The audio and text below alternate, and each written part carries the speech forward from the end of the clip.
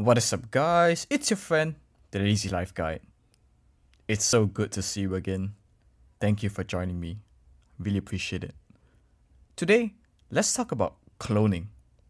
Ever since Dolly the sheep was created as the first clone, the idea that we can create life, and not just the creation of life, but the replication of the exact genetic material of one organism into another organism has always triggered questions of ethics and of law.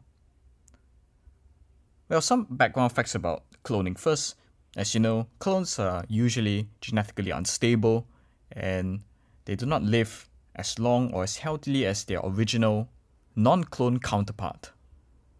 And because of this genetic instability, it has always been regarded as something that should not be tampered with, lightly at least.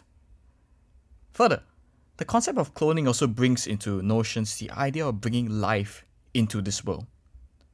Could it be irresponsible on the part of its creator if they were to just bring life into this world?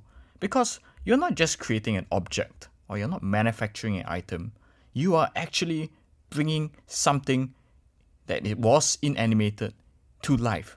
You are animating something. And because of that, that new thing that you have created will now be endowed with sentience and that new thing you have created will be given this gift of life. Or even if you want to consider in a religious perspective it could be a spirit if you would. That newly created entity will now have a spirit endowed with the same notions that religion ascribes to human beings a special place in the universe a special place in this world. So if we were to give this gift of life to people by bringing an object into this world it could be irresponsible if we did this carelessly or for experimental purposes. But the counter argument could be made, right? What about parents? Parents don't have such a duty to do this. I mean, parents can just copulate and produce a child without having to consider these ethical implications.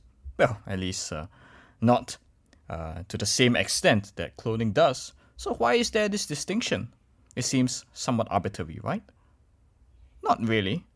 Because when you create life naturally, which means biologically copulating between two individuals, then you're creating a new life that is separate, that has a different DNA, a combination of one and another person, right? But if you were creating a clone, then you'd be an exact copy of a first entity into another entity. And because of that, it leads to another extra dimensional layoff analysis because even if this clone was stable, which is as of now not really stable, right? But even if it were stable, there will be legal problems with regards to personality because the law has always regarded a person as being given or ascribed rights. So if we were to create a clone, then what personality or what rights will this clone have? Will this clone have the same rights as you? Or would that clone be you, and therefore you must share the rights? Or should there be a duplication of rights? It's also unclear at the moment. There's also a related issue with regards to cloning.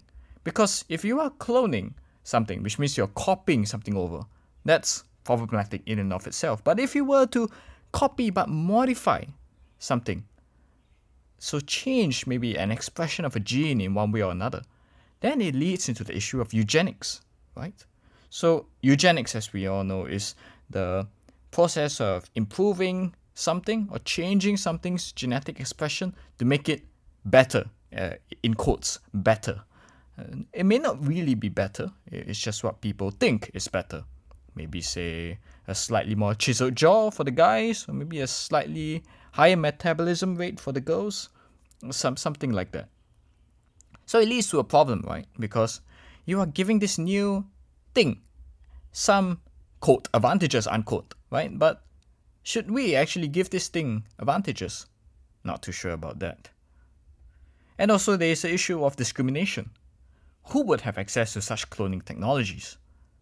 As of now, only the rich would have this, right? Because uh, CRISPR, for example, uh, is still in its early infancy stages at the moment, so it's largely experimental.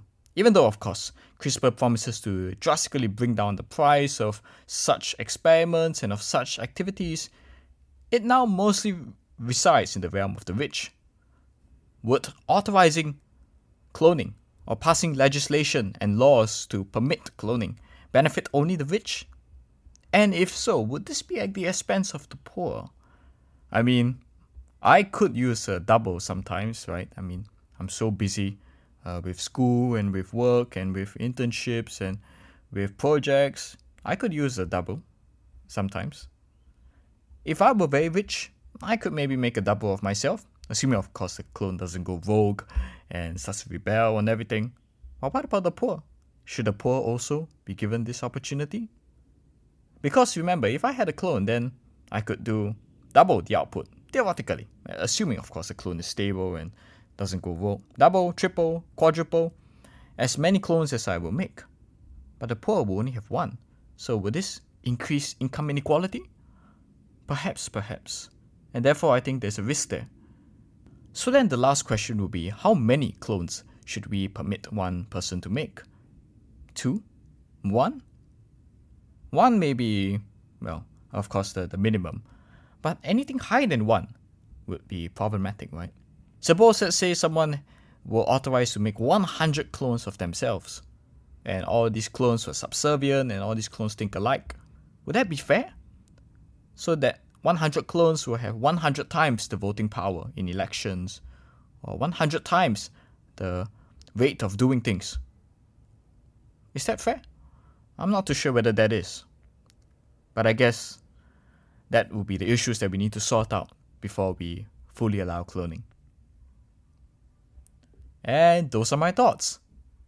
Thank you so much for joining me today. I really appreciate your company. I gotta go now, but I'll see you again in the next one.